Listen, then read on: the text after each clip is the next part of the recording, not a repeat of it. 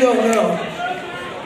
We're motherfucking Vio-lence. And we came here from the Bay Area thrash scene to stick our fucking boot in your ass.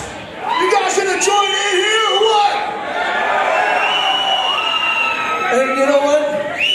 We don't mind if you stir up a big pit and make total mayhem right here in front of us. Actually, we love it. Are we gonna see some of that or what?